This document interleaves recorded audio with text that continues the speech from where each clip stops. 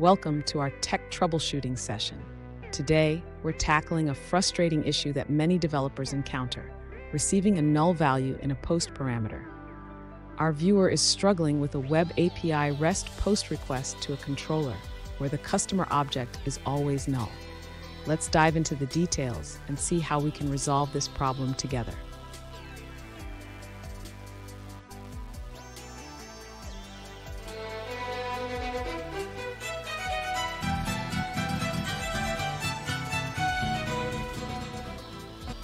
Welcome back to another technical video. Today we're going to be going through your question, answering it, and hopefully finding that solution. Guys, remember to stay just a little bit crazy like me, and hopefully you get to that resolution. Now, let's continue on to the video. In this video, we will address the issue of receiving a null value in a post request to a Web API controller.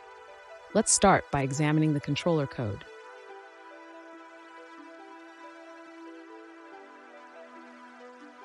The model we are using is defined as a customer class, which includes properties for ID, last name, and first name. Let's take a look at that model.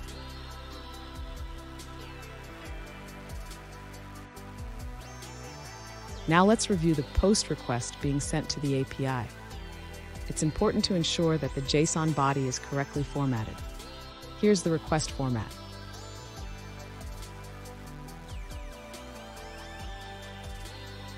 If you're still receiving null values, one effective solution is to use a curl command to test the API. This can help identify if the issue lies with the request format.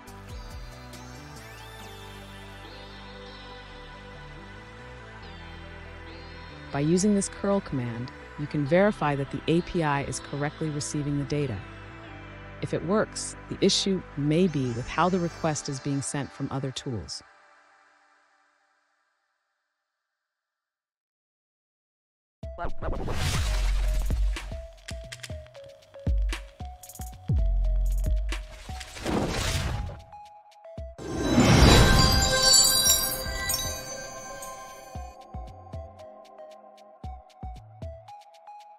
Let's now look at a user-suggested answer.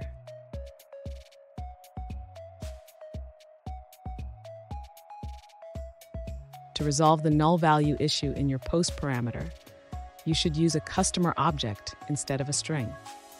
Update your method to accept the customer object from the request body.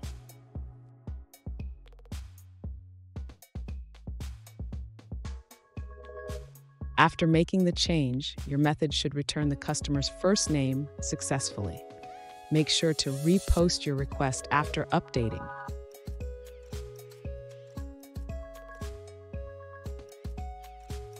Here's how your post request should look. Ensure the content type is set to application slash JSON and include the customer details in JSON format.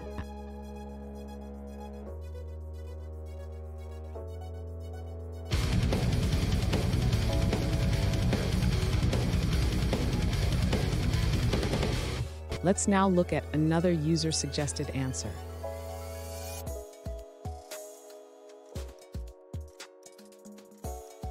To resolve the issue of receiving a null value in your post parameters, ensure that your entity is defined as a customer object, not a string.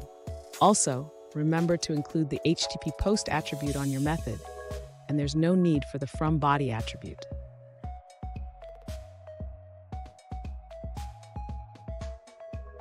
And that's it, guys. I hope we've gone through the question and found that solution you're looking for. And look, if we did, please hit subscribe. I'd really appreciate it. And until the next time you need technical help, I hope you have a good one. Cheers.